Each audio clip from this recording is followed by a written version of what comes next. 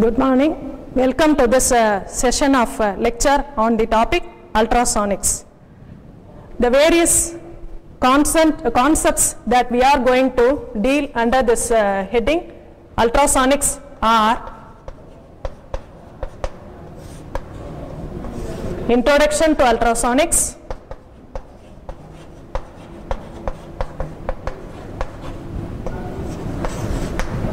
properties of ultrasonics,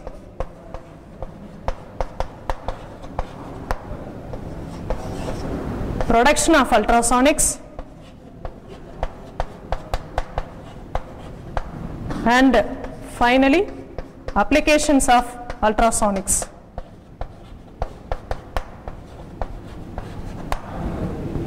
So these are the contents that we are going to deal in this lecture session. As we enter into the introduction of ultrasonics,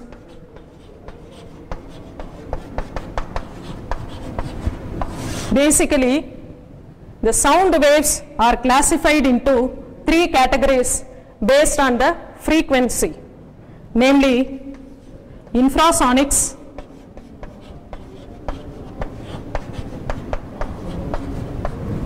These are sound waves of a frequency lying between 0 hertz to 20 hertz. The second category is audible sound whose frequency lies between 20 hertz to 20,000 hertz. And the third category is called ultrasonics whose frequency is greater than 20,000 hertz. So we could see that ultrasonics are sound waves having frequency greater than 20,000 hertz. And what is important about this ultrasonics is since these ultrasonics are having frequency above 20,000 hertz which is very high frequency obviously the wavelength of the ultrasonics is very very smaller. So the higher frequency of ultrasonics makes the ultrasonics find application in engineering industries and the smaller wavelength of the ultrasonics makes the ultrasonics find application in medical field. So this is importance why we are concerned much about the production of ultrasonics. So as a continuation of it, when we talk about the properties of ultrasonics, before entering into the properties of ultrasonics, we have we could find, we could uh, look after at the natural agencies of producing ultrasonics as well as the laboratory methods of producing ultrasonics. So the natural, as far as the natural agencies producing ultrasonics are concerned,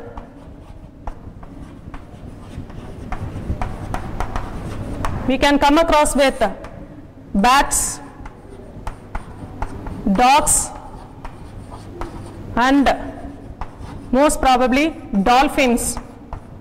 And these beings would be able to produce ultrasonics as well as detect ultrasonics so that it would be helpful for them to navigate. And as far as uh, laboratory methods of producing ultrasonics are concerned,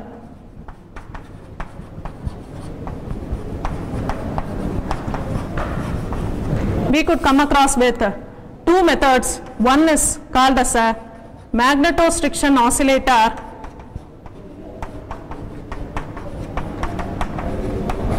and the next one is called piezoelectric oscillator.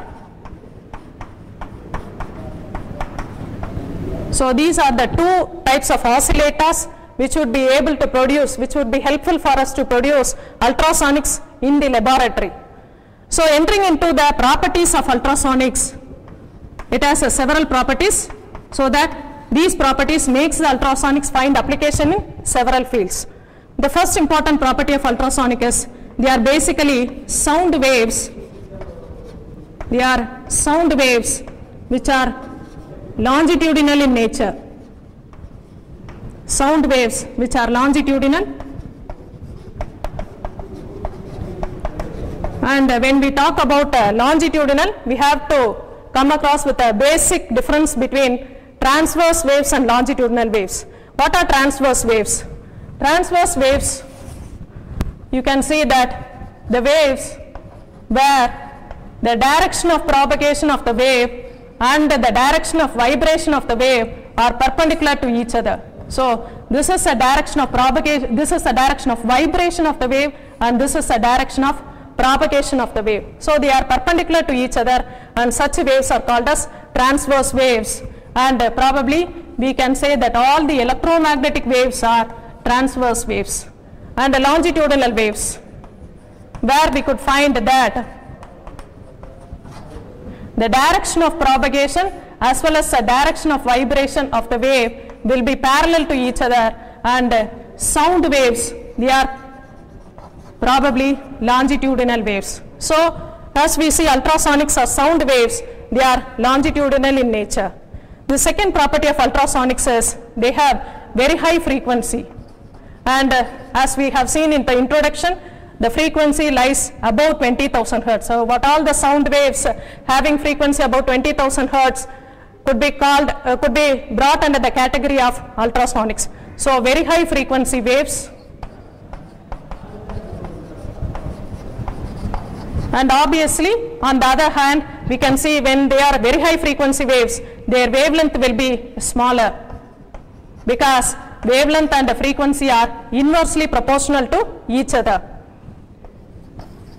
Due to their high frequency we can find this ultrasonics have high energy content.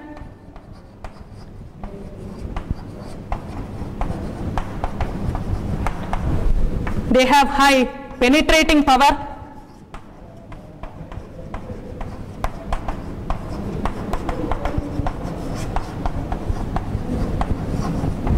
they produce high heating effect. When they are made to fall on any substance for a period of time and and the important application of ultra uh, important property of ultrasonics is it uh, serves as acoustic grating.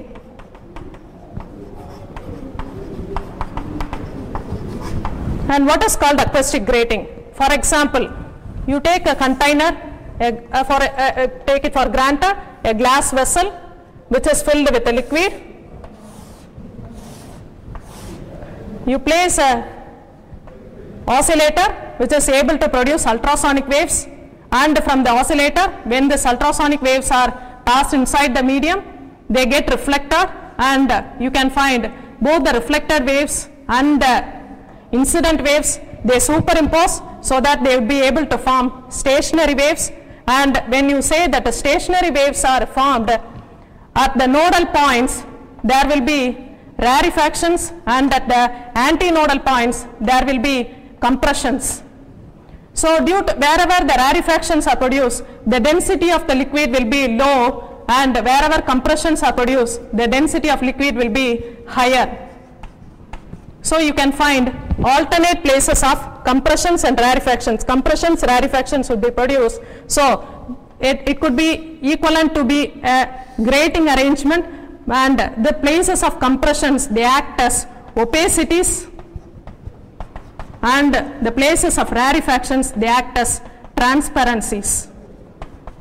And this alternate arrangement of opacities and transparencies could be treated to be equivalent to a grating and so this is called as acoustic grating because this uh, grating arrangement has been formed out of uh, sound waves so we give the name acoustic grating. So these all are the properties of ultrasonics. As a continuation of the properties of ultrasonics when we enter into the production of ultrasonics we have two important methods as far as laboratory methods are, are uh, concerned one is a magnetostriction oscillator, the other one is a piezoelectric oscillator. As far as the methods of production of ultrasonics are concerned, as we have seen earlier, there are two types. One is a magnetostriction oscillator.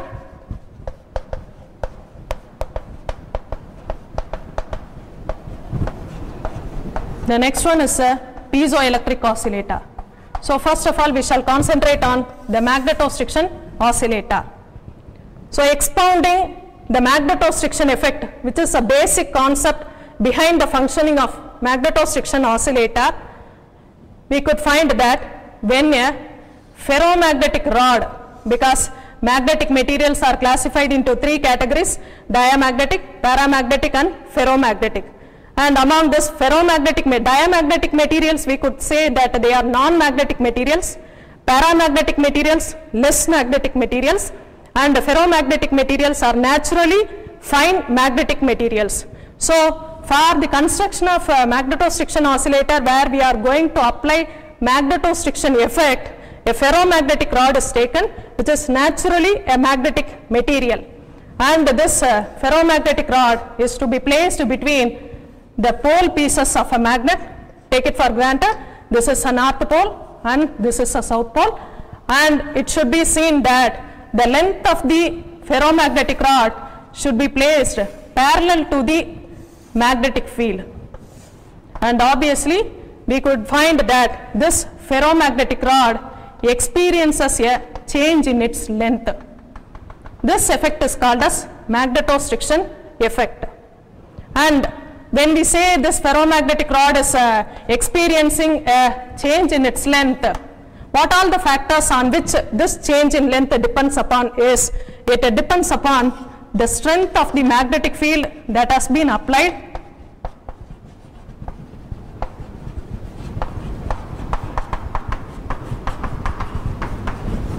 The nature of the ferromagnetic rod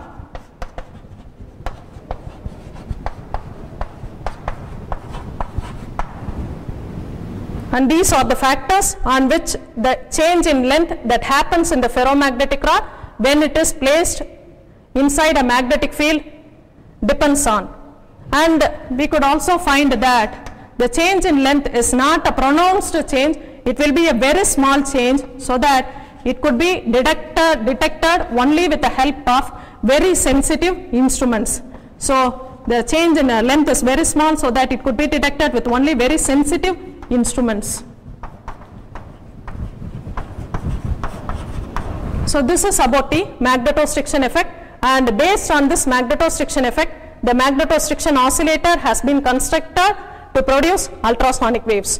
So, when we enter into the principle construction and working of magnetostriction oscillator, first of all, let us talk about the principle of magnetostriction oscillator.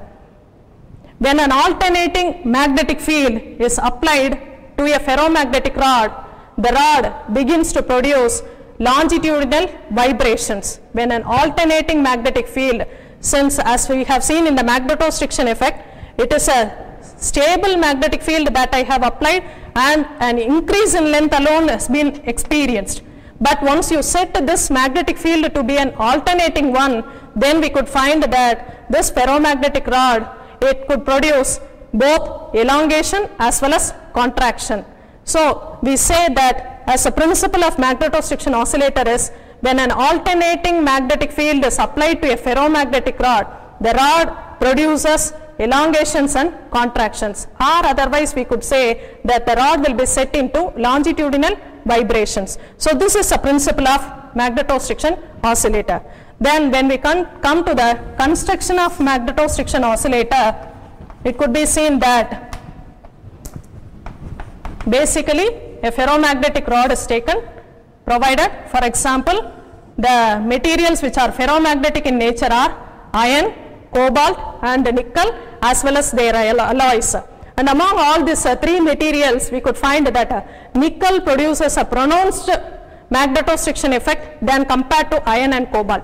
So, for our laboratory method also we could depend upon nickel and this is a ferromagnetic rod which is a nickel rod. It is to be clamped with the help of clamps so, these are the clamps which are going to hold the rod, rod rigid. Two coils are to be wound at the ends of the ferromagnetic rod, one at the right end and one at the left end.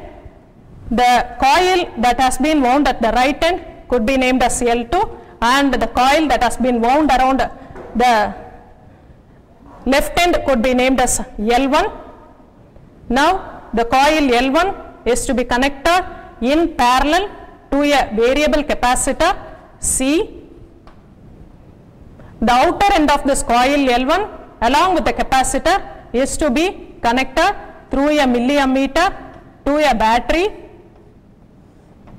The inner end of the coil L1 along with the capacitor is to be connected to the collector terminal of a NPN transistor and let, this is the NPN transistor where this is a collector terminal, this is a base and this is a emitter and since it is an NPN transistor it is represented by an arrowhead moving out of the transistor out of the emitter terminal and the emitter terminal is to be grounded. Now when we come to the coil L2 the inner edge of the coil L2 is to be connected to the base of the transistor the outer edge of the coil L, L2 is to be grounded. So this is a construction of a magnetostriction oscillator and this is your ferromagnetic rod. Now as far as the working of the magnetostriction oscillator is concerned, when the battery is switched on, the capacitor gets charged and discharged and this charging and discharging takes place through the coil L1 and we could find an alternating current has started to flow through the coil L1. Obviously, an alternating electric field will be existing around the coil L1 and perpendicular to the alternating electric field, a magnetic field will be existing around the coil L1.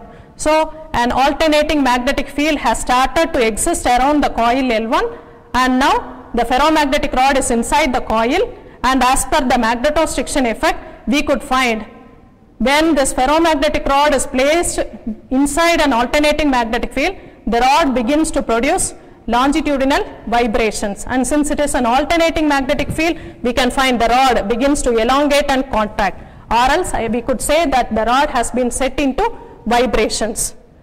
And now the frequency of vibration of the ferromagnetic rod could be given by the formula 1 by 2L root of y by rho where L is the length of the rod,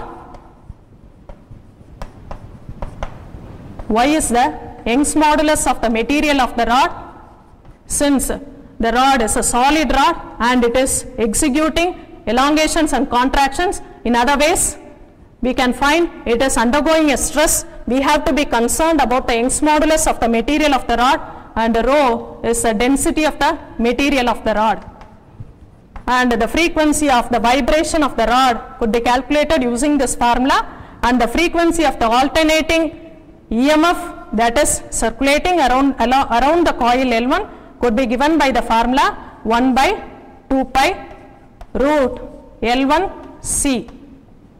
And now we can find that when you change the value of C, the value of the frequency of the alternating EMF changes around the coil whenever the alternating EMF changes, the alternating magnetic field also changes.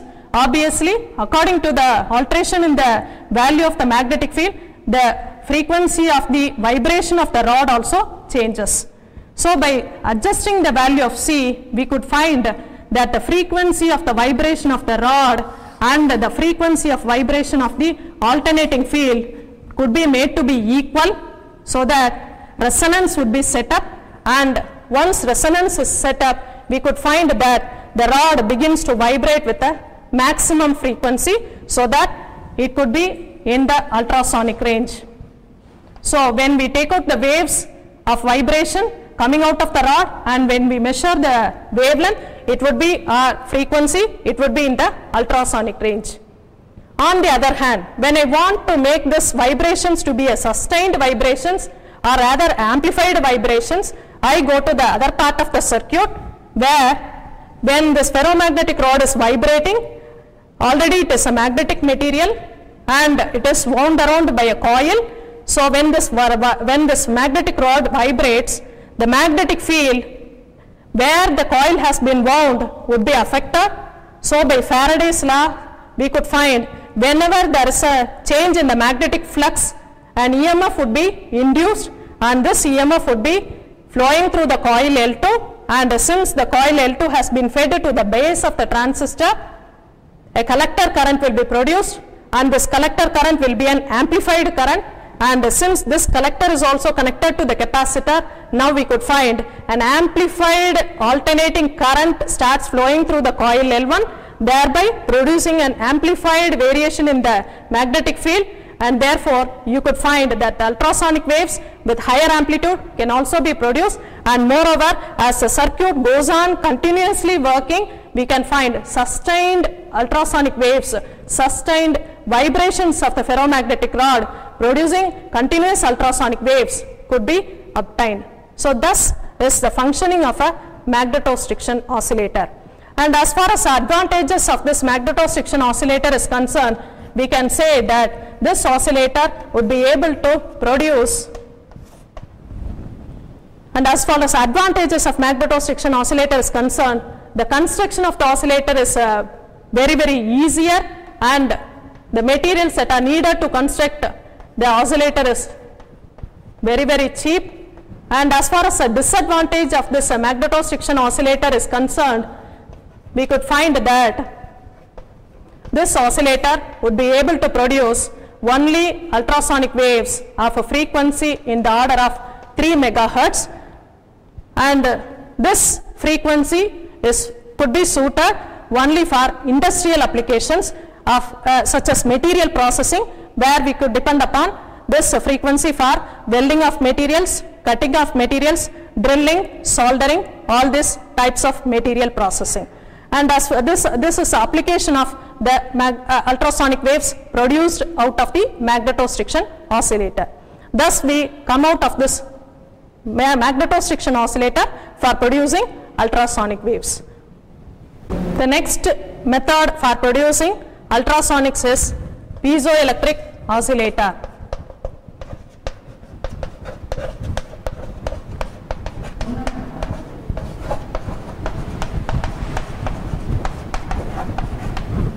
Before going into the detailed explanation of the piezoelectric oscillator, first of all we shall look after at the two important effects.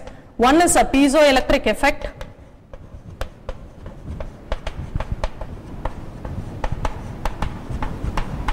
and the next one is a inverse piezoelectric effect.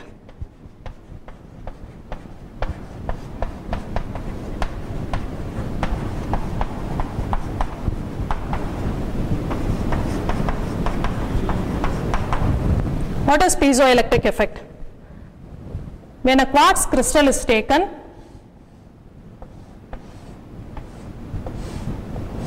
and a pair of opposite faces of the quartz crystal is applied with mechanical stress, we could find that equal and opposite charges will be induced on the other pair of opposite faces. Take it for granted that the three axes, x axis, y axis and z axis of a quartz crystal where along the y axis when you apply stress along the x axis charges would be induced and the z axis of the quartz crystal is always named as the optic axis.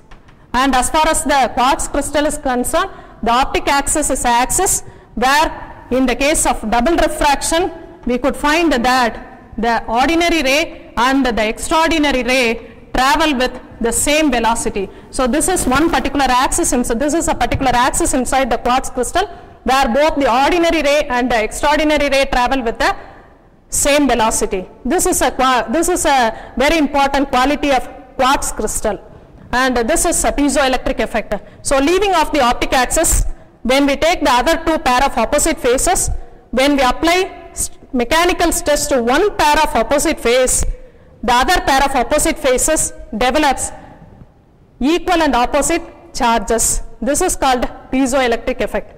On the converse, when we come to the inverse piezoelectric effect, when we apply electric field to a pair of opposite faces of the quartz crystal, then we could find that the other pair of opposite faces, they come into mechanical elongation and contraction provided the electric field that we have applied is an alternating electric field. This is called inverse piezoelectric effect. So this inverse piezoelectric effect is to be applied for the production of ultrasonics using a piezoelectric oscillator. So, the principle that is to be followed in the piezoelectric oscillator is purely inverse piezoelectric effect that has come out from the piezoelectric effect. So, as far as the principle of piezoelectric oscillator is concerned, we could find that when an alternating electric field is applied to a pair of opposite faces of the quartz crystal, the other pair of opposite faces would be set into mechanical vibrations that is elongations and contractions would be alternately produced where we say that that would be equivalent to mechanical vibration. So, this is a very important peculiar property of crystals like quartz, tourmaline, zinc blende and among these materials quartz is mostly preferred in the piezoelectric oscillators.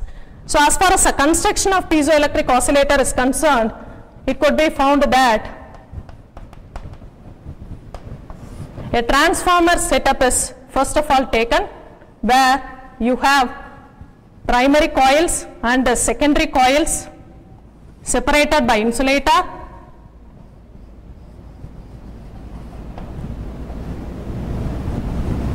So, we have three coils. This is L3 which is going to act as a secondary coil and L2 and L1 they are going to act as primary coils. The outer edge of the coil L2 is to be connected to a battery and the other end of the coil L2 is to be connected to the collector terminal of a NPN transistor provider this is the collector terminal, this is a base and this is a emitter of a NPN transistor. The emitter terminal is grounded. Now across a coil L1, a variable capacitor is to be connected in parallel and the other end of the variable capacitor, other end of this uh, uh, inductance capacitance connect, uh, connection that is this could be otherwise called as a tank circuit also or a resonance circuit because as we vary the value of C, then the alternating EMF passing through the coil would be varied. Thereby, we could alter the frequency as per the formula F is equal to 1 by 2 pi root L1C and the other end of the coil L1 is to be grounded. So, this is a basic circuit of a piezoelectric oscillator. Now, I am coming to the coil L3. The ends of the coil L3 are first of all connected to a metal plates A and B and in between the metal plates the quartz crystal which is going to execute mechanical vibrations is placed because the quartz crystal cannot be provided with the alternating EMF directly. So, with the help of meta metallic plates we provide the alternating EMF to the pair of opposite faces of the quartz crystal. So, this is a basic construction of a piezoelectric oscillator. Now, on coming to the working part of the piezoelectric oscillator, when the battery is switched on and collector current will be flowing through the transistor and the base of the transistor since it is connected to the tank circuit from the base current the capacitor charges and discharges and this charging and discharging takes place through the coil L1. So, an alternating electric field will be set up around the coil L1 which would be producing an alternating magnetic field in a direction perpendicular to the direction of the electric field. And when this alternating magnetic field has been produced here by transformer action that is basically mutual induction we could find an alternating EMF will be induced in the coil L3 and this alternating EMF is to be fed to the quartz crystal through the metal plates A and B. So, when this alternating EMF is fed to the pair of opposite faces of the quartz crystal, we could find the other pair of opposite faces, they would be producing elongations and contractions alternately depending upon the EMF that we have applied.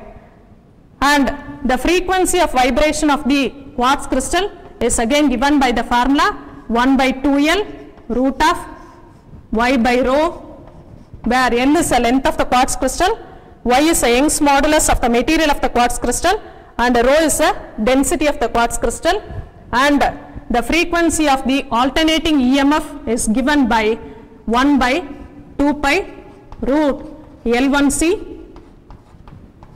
and similarly as we have seen in the magnetostriction oscillator when we alter the value of C the frequency of the alternating EMF could be varied to be equal to the frequency of vibration of the quartz crystal. So when these two frequencies becomes equal we could say that a resonance would be set up and once resonance has been set up the crystal begins to vibrate with maximum frequency.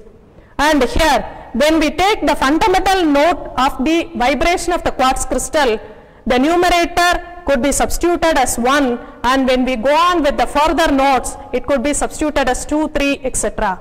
And generally this formula has to be framed as f is equal to p by 2l into root of y by rho. And thus the functioning of the piezoelectric oscillator happens and from the opposite faces of the quartz crystal ultrasonic waves could be taken outside. And as far as the advantages of this piezoelectric oscillator is concerned, we could find that this oscillator would be able to produce ultrasonic waves of a frequency greater than 500 megahertz. And once you see this uh, frequency is higher, obviously the wavelength would be smaller and this uh, smaller wavelength even though the frequency that has been produced is higher, the wavelength is uh, smaller. So this uh, smaller wavelength makes this ultrasonic waves produced out of this piezoelectric oscillator to find application in medical field. Rather, in the case of a magnetostriction oscillator, the ultrasonic waves could be used in industrial material processing techniques and this frequency that is produced by this ultrasonic waves is probably used in medical field. And as far as a disadvantage of this piezoelectric oscillator is concerned, we could find that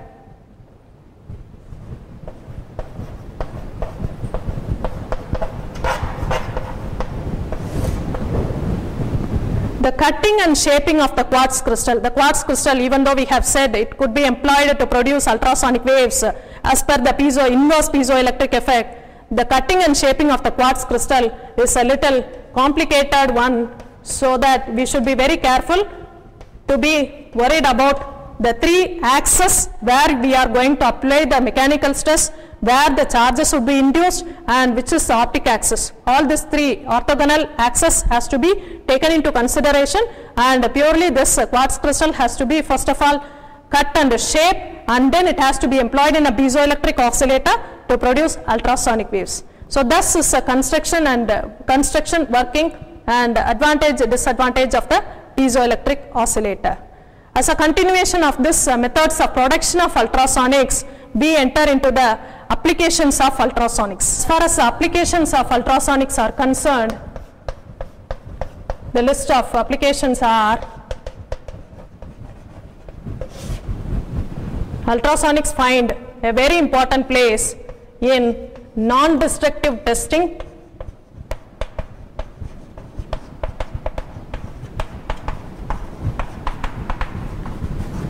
The next important application is material processing in industries.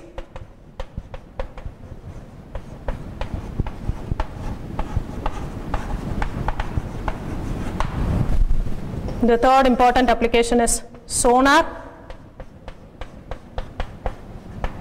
Fourth one is sonogram.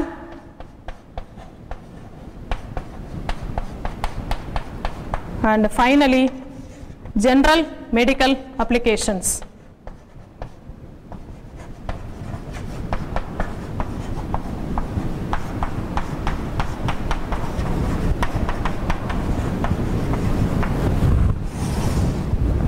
As we concentrate on the non-destructive testing, first of all, what is a non-destructive testing? NDT. Testing the fineness of material without causing any harmness to the material is called as non-destructive testing. And when we have prepared a material, there are two different types of test testing. One is to test the surface defects and the other one is to test the inner defects. As far as the surface defects are concerned, liquid penetrant method plays a major role in doing non-destructive testing.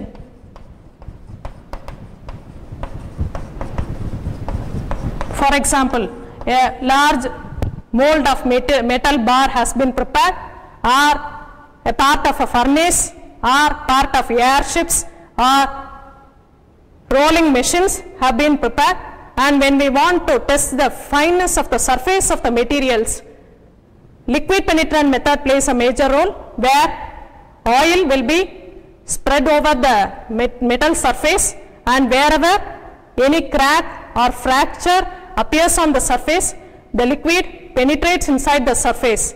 And when we make ultraviolet rays to fall on the surface and completely scan the surface, at the part of the crack, the ultraviolet rays will be absorbed by this oil and the back reflected ultraviolet rays, they, find, they could be found to have a decrease in the intensity.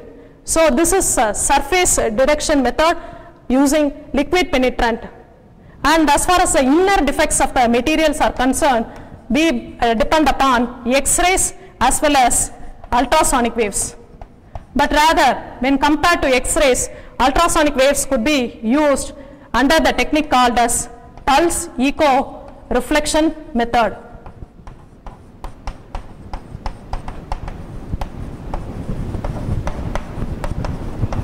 And what is pulse echo reflection method? By making the ultrasonic waves to be incident on the metal and make it penetrate inside the metal, since the ultrasonic waves would be passed inside the metal through as vibrations, they reach the lower surface of the metal and get reflected. By examining the incident waves and the back reflected waves, we could find out whether there is any flaw or defect is present in the inner part of the material. Whereas in the liquid penetrant method, only the surface cracks are, uh, uh, would be detected because uh, the liquid would be penetrating only uh, to a smaller extent on the surface. And as far as ultrasonic waves are concerned, since they are high frequency vibrations, they would be able to penetrate through the inner surface of the material and get reflected from the lower surface of the material. So by examining the intensity difference between the incident wave and the reflected wave, the defect or flaw which is present at the interior part of the material could be detected very easily. And as far as the construction of the non-destructive testing method is concerned, we have a uh, cathode ray oscilloscope screen which is calibrated in the time distance scale.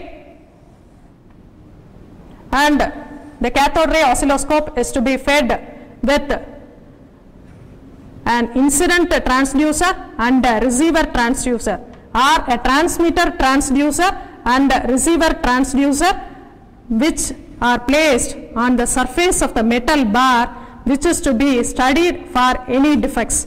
Take it for granted, this is a metal bar which is to be studied for any defects. So this is a receiver transducer and this is a transmitter transducer. And both the receiver transducer as well as the transmitter transducer are basically piezoelectric oscillators which would be able to produce ultrasonic waves. Now once you switch on this uh, transducer, the ultrasonic waves would be passed inside the metal bar and when it reaches the metal bar, when, when it reaches the lower surface of the metal bar without coming across with any defect, the back reflected ultrasonic waves would be detected and in the receiver, the back reflected ultrasonic waves would be amplified and it would be fed to the CRO. At the same time, the tracing of the incident ultrasonic waves or the transmitted ultrasonic wave would be appearing on the CRO screen as the, as the receiver ultrasonic waves is received on the CRO screen, it will be appearing as a peak on the left end of the CRO screen. The transmitted ultrasonic wave would be appearing as a peak on the right end of the CRO screen and the back reflected ultrasonic wave will be received as a peak at the left end of the CRO screen. So this is the incident uh, ultrasonic and this is the back reflector ultrasonic. And now if at all the material is with any defect, for example this is a defect part where the defect might be a porosity or a vacancy anything and when this ultrasonic waves fall at this part and get reflected back and it appears on the CRO screen, it would be produced as a very small amplitude peak appearing between the incident ultrasonic and the back reflected ultrasonic. Whereas this could be called as a pulse echo reflected peak because this peak has been appearing on the CRO screen with the received ultrasonics that has been reflected as an echo signal from the place of the defect that is present inside the material. And by measuring the intensity difference or the amplitude difference between the peaks, we could come to a knowledge of where is the defect, what is the size of the defect, everything. Thus, the non-disturb, thus without causing any damage to the material, the ultrasonic waves are passed inside the material and by analyzing the received peaks, we could have a knowledge about the defects that are present in the interior part of the metal surface. This is non-destructive testing. And this uh, reception of this uh, reflected waves can be done in three ways called as A scan, B scan and C scan where the A scan is called as amplitude scan where you can have the received signals in the form of amplitude of uh, signals of ultrasonics. In the case of B scan, instead of appearing as amplitude peaks on the CRO screen, it could be appearing as brightness spots or dots on the CRO screen so that the incident ultrasonic is uh, more brighter, the reflect back reflector will be a little brighter and the pulse echo reflected will be a very little brighter one and depending upon the brightness mode of the received ultrasonic pulses on the CRO screen, we can analyze about the defect and the intensity of the defect, the depth of the defect, the size of the defect, everything. And in the case of a C scan, in the case of C scan, instead of uh, appearing as amplitude peaks or brightness spots, we can find the defects to be appearing in the form of shades. So when you scan throughout the entire metal surface, wherever you don't come across with any defects, the shade will be very bright and wherever you come across with any defect, the shadow of the received shadow produced out of the received signals will be very little intense. So with the, with the help of that, we can come to an idea about the defect that is present. So for example, this is a entire screen that is appearing and you can find at one particular place alone, the received signal will be very less in its, uh, in its uh, uh, shadow intensity and with this help you can come across with a knowledge about the defect that is present in the inner surface of the material. So these are the various types of scanning methods that could be employed in non-destructive testing method to test the perfectness of the interior surface of the metals.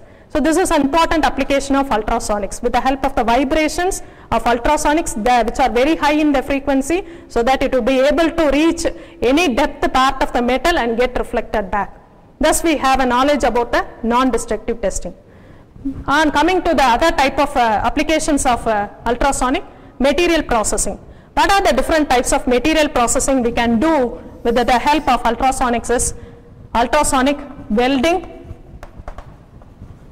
So how to carry over with ultrasonic welding is, for example, these are the two metal sheets, take it for granted and they have to be welded together. You place these metal sheets close together and make the ultrasonics to fall at the line of contact between the two metal sheets. So as we have the knowledge, the ultrasonic waves have high frequency and when they are made to be incident on a surface for a period of time, they can produce high heating effect.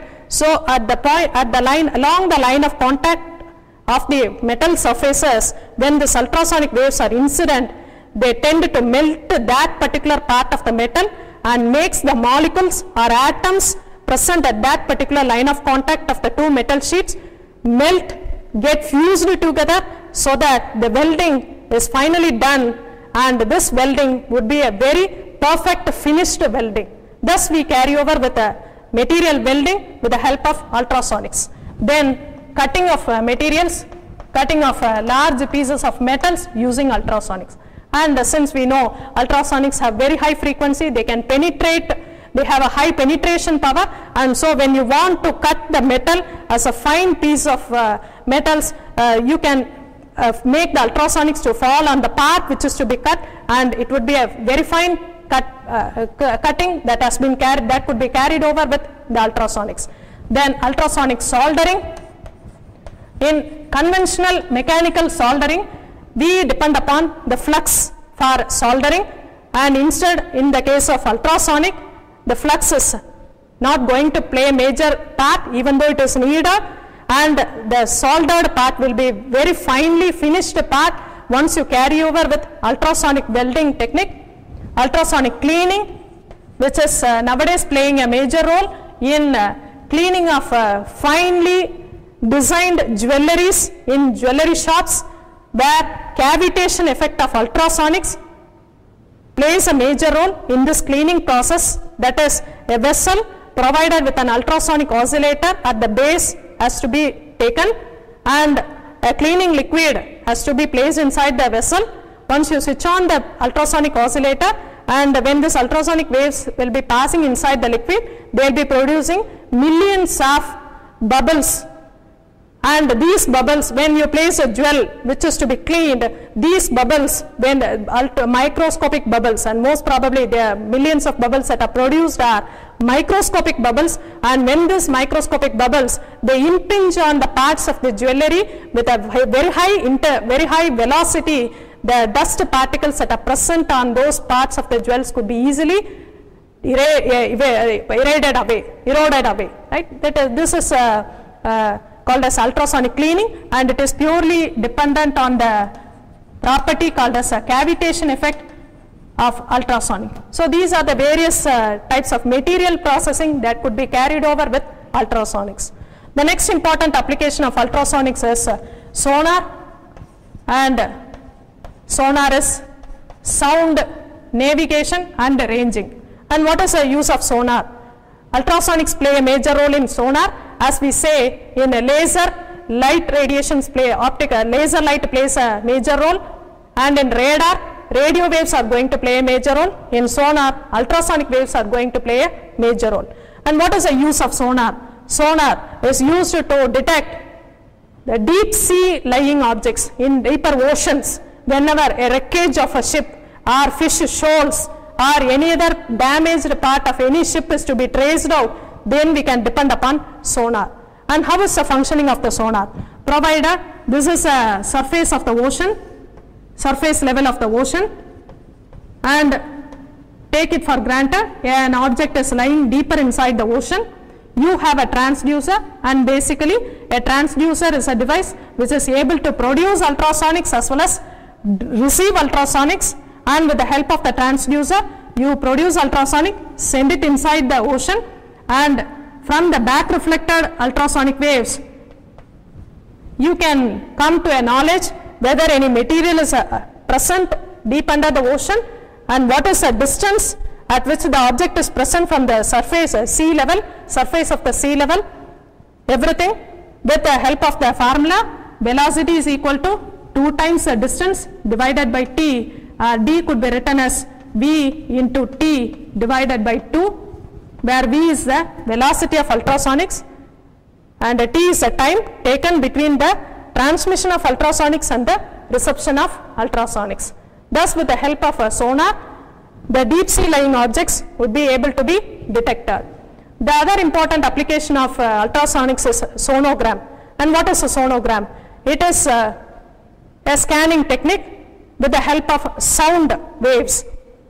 And what is a sonogram? Sonogram finds important application first of all to find the position, growth of babies inside the fetus of a mother. That is, for example, you take this is a part of a body, you place a transducer on the part of the body which is to be scanned. From the transducer, ultrasonic waves will be sent inside the body. part of the ultrasonic waves gets transmitted and part of the ultrasonic waves get reflected back on falling on the su- su- tissue surface and the received back ultrasonic waves could be sent to a digital processing unit where the sound waves could be converted into electrical pulses and this electrical pulses could be fed on a monitor or a fluorescent screen where with the help of the images that are detected we could have a knowledge or visualize about the three dimensional view of the part of the body which is to be studied. And this is a sonogram. And this is a three dimensional visualization of the part of the interior part of the body with the help of uh, sound waves. And as far as uh, general medical applications of uh, ultrasonics is concerned the first important application is ultrasonic therapy for example if any part of the body take it for granted this finger is not functioning well due to some neurological disorders you can make the ultrasonic waves to fall on that particular part of the body for a prolonged period of time and make the neural disorders to be ordered thereby slowly getting a cure of the disorders.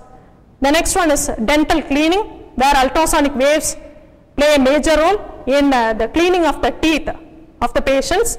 And the third one is uh, bloodless surgery where the removal of kidney stones could be done with the help of ultrasonics. With these the various applications of ultrasonics have been discussed. And as a consolidation of all the contents we have started with the introduction of ultrasonics, what is the frequency of ultrasonic waves, what are the natural methods of producing ultrasonic waves, what are the laboratory methods of producing ultrasonic waves that are the magnetostriction oscillator based on the magnetostriction effect, piezoelectric oscillator based, based on the inverse piezoelectric effect, what are the advantages, disadvantages of those methods and where the ultrasonic waves produced by those oscillators find applications. All these things have been dealt with. And finally, as far as the properties of ultrasonics are concerned, the ultrasonics have got very beautiful properties so that it finds application in both industrial phenomena as well as in medical field. In industrial phenomena, very fine applications of non-destructive testing, material processing, could be carried over with the help of ultrasonics and as far as the medical uh, field is concerned sonar sonogram and uh, general medical applications make the ultrasonics. So with this we had an elaborate lecture session on the topic ultrasonics. And uh, i thank the management for providing me an opportunity for presenting this lecture. Thank you